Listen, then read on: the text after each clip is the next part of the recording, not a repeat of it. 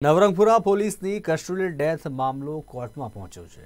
ચીટિંગના ગુનામાં પકડાયેલા આરોપી દીપક પંચાલની પોલીસ કસ્ટડીમાં તબિયત લથાડતા તેને સારવારથી ખસેડાયો જોકે હાજર તબીબે તેને મૃત જાહેર કર્યો. જેની જાણ તેની પત્નીને કરવામાં આવતા તેની પત્નીએ કસ્ટડીમાં માર મારતા તેના પતિનું મોત નીપજ્યું હોવાના આક્ષેપ કર્યા અને પોલીસ કમિશનર સહિત અધિકારીઓને ફરિયાદ લેવા આજીજી કરી. જોકે કોઈએ ફરિયાદ નહીં લેતા છેલ્લે મૃતકની પત્નીએ ગુજરાત હાઈકોર્ટનો દરવાજો ખટખટાવ્યો, જેમાં તેમણે હવે પંદર ફેબ્રુઆરી સુનાવણી હાથ ધરાશે.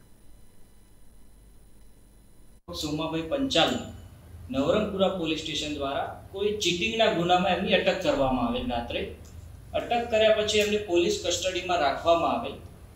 પોલીસ કસ્ટડીમાં તેમની તબિયત સારવારને એમને ઇસ્યુ થયો. એમની તબિયત બગડી. તબિયત બગડ્યા બાદ હોસ્પિટલમાં સારવાર દરમિયાન એમનું મૃત્યુ થયું. ત્યારબાદ એમના પત્નીને પોલીસ સ્ટેશન દ્વારા બોલાવવામાં એમને જાણ કરવામાં આવી કે ભાઈ, તમારા હસબન્ડનું પોલીસ સ્ટેશન કસ્ટડીમાં આવી રીતે મૃત્યુ થયેલું છે. જે ભોગ બનનાર વ્યક્તિ છે, એમના પત્ની દ્વારા હાઈકોર્ટમાં પિટિશન ફાઇલ કરવામાં આવી.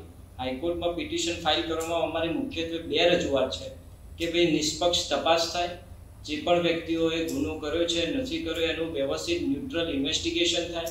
અને આ જે આખી તપાસ છે એ નવરંગપુરા પોલીસ સ્ટેશનમાં જ બનેલી હોય, તે પોલીસ સ્ટેશન સિવાયની કોઈ સ્પેશિયલ ઇન્વેસ્ટિગેશન ટીમની રચના કરીને તેનું ઇન્વેસ્ટિગેશન કોઈ હાયર સુપિરિયર ઓફિસર દ્વારા થાય તો અરજદાર અને ફરિયાદીને તે ન્યાય મળી રહે એટલા માટે નામદાર કોર્ટમાં પિટિશન કરી નામદાર કોર્ટમાં સુનાવણી તેને આજે નામદાર ગુજરાત હાઈકોર્ટમાં જસ્ટિસ સુથાર સાહેબ દ્વારા જે પેપર છે, ઇન્વેસ્ટિગેશનના પણ જે પણ કાર્યવાહી કરી છે, એ બધું પોલીસ સ્ટેશન મારફત મંગાવીને કોલ ફોર રેકર્ડ્સ કરેલું છે.